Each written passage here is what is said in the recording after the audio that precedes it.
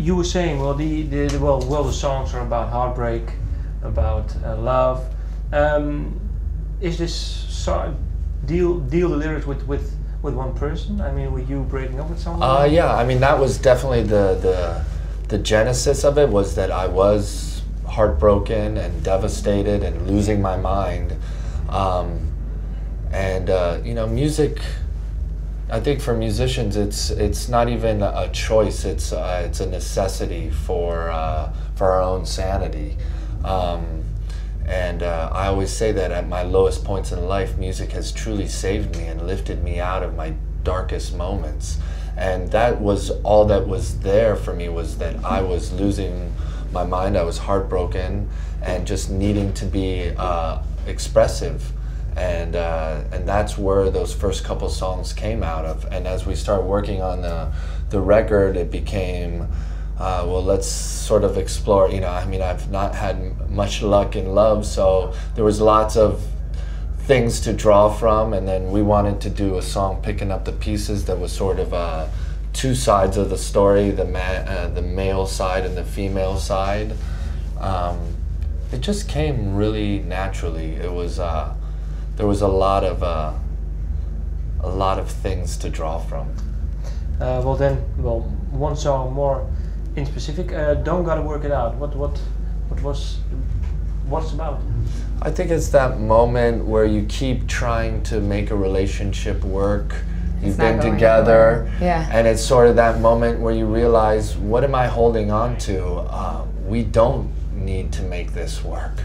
You know, sometimes you've invested so much time and energy in your heart and soul into something that you're afraid to let it go. So you keep trying to fix something that's broken.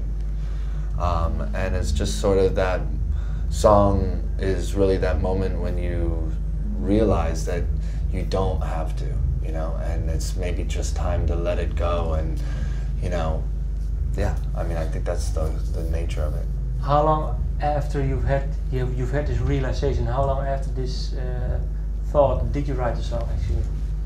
For Don't Gotta? Um, I think that that was. Uh, was was part of that th- thing because that relationship was one where we had ended the relationship and we every couple months we would go back and try and work on it and then start and it, we just kept trying over and over and uh, I'd say it was uh, you know maybe three four months after finally saying okay enough with trying this back and forth thing you know what let's just call it call it a day but did, did it help writing the song?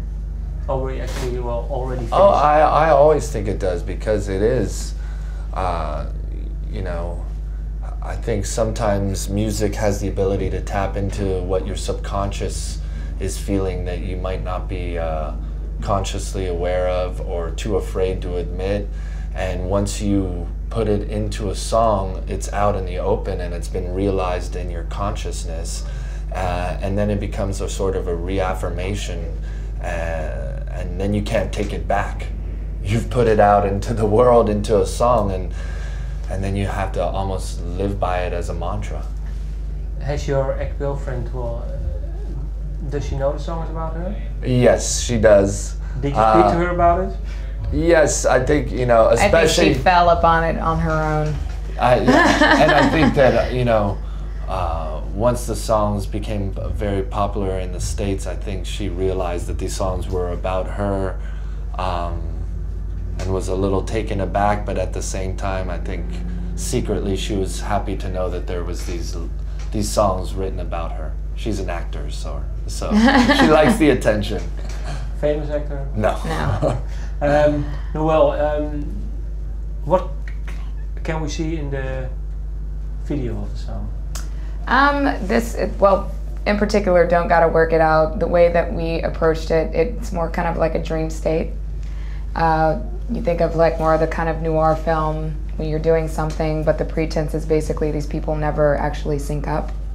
So they're walking along this path, like it's, you know, all of us in the band just kind of walking along this road.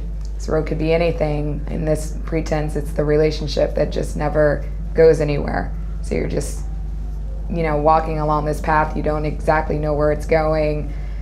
has really no foundation whatsoever. It's just kind of flowing along. And initially, you see it all kind of come together in the the editing process. But that was that was basically the concept of the video, just this kind of never-ending like tale of woe. and for us, the first uh, video, Money Grabber, was so. Uh, we were so happy with the outcome of it.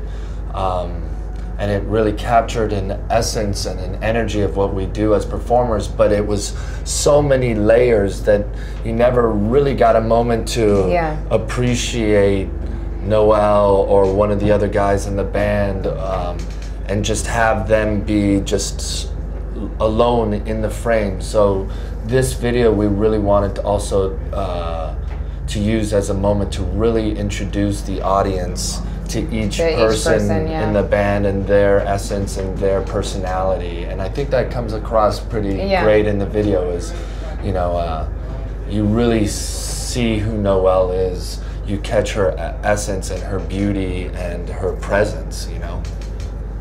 Thank you. You're welcome.